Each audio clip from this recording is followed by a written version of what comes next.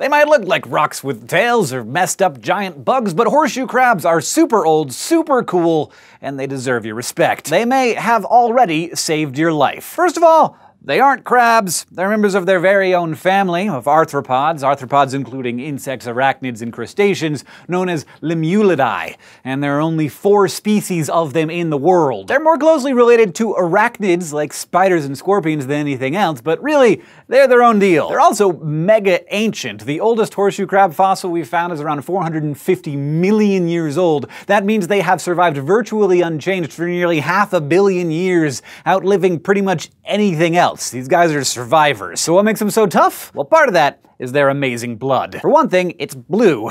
Baby blue. Our blood is red because the substance it uses to ferry oxygen around, called hemoglobin, contains iron, but horseshoe crabs use hemocyanin, which is copper-based. So just like iron turns red when it oxidizes, when copper meets oxygen, it turns blue. But that's not even half of what makes horseshoe crab blood so cool. So seawater is chock full of bacteria, and unlike mammals, horseshoe crabs don't really have an immune system, no infection-fighting white blood cells at all. So if they get a crack in their their shell, all that bacteria just gets into their bodies and could wreak all kinds of havoc. What they do have is a glorious chemical found only in their blood cells that binds to and inactivates unwanted bacteria, viruses, and fungi. When the blood cells sense some bad guy invaders, they release a protein called coagulogen that forms a gooey barrier around the infecting agents, preventing their spread. That clot of gooiness actually creates a physical barrier, sealing up the wound and preventing further infection. It's an amazing internal defense mechanism. Humans,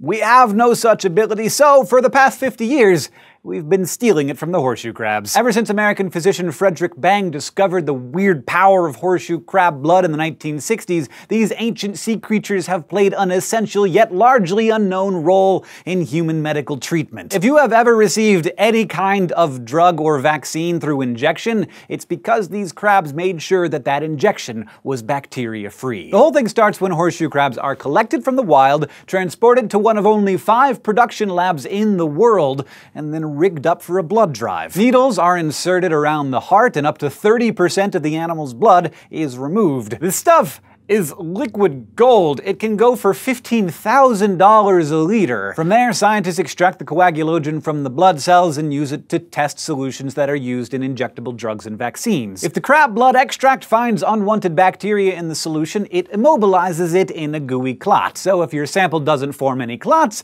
you know that it's bacteria-free and safe for human use. This simple procedure called the LAL or Limulus amoebocyte lysate test is nearly instantaneous and no other test works as well. As for the crabs themselves, most seem to bounce back several days after being released back into the wild, but some folks are concerned that the bloodletting weakens them more than we think. So LAL manufacturers tend to only collect blood once a year to ensure that they're not double dipping on the same crabs, and research is being done to come up with a synthetic alternative so that we can eventually leave them alone. Until then, next time you get a shot, give thanks to all those old horseshoe crabs who made your good health and your sore arm possible. Thanks for watching the SciShow especially to our Subbable subscribers. To learn how you can help us keep sharing wonderful science like this, just go to subbable.com and don't forget to go to youtube.com slash scishow and subscribe.